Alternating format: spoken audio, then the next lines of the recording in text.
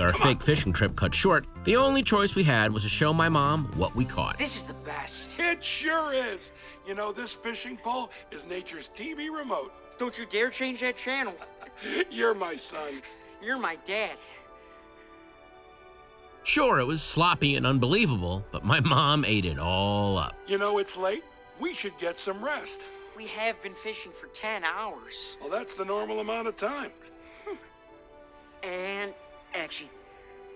Good night, Tiger. Right back at you, Tiger. How many times I gotta tell you? you I love camping. It happened! Oh! I brought the men in my life together. So you thought this was good? It was amazing. This worked nice. So I'll see you around chow time. Damn right you will. I'm inviting Jinsey and her bland family over so I can rub your camping love in their fat faces. Wait, this isn't over? It's just beginning. I'm cooking up the fish you caught with a side of suck it, Jinsey. Oh know! The Kremps no fish! They'll expose our terrible lies! Nah. All you gotta say when they ask you something is they were practically jumping into the boat. Those are words that people say. Those are words that people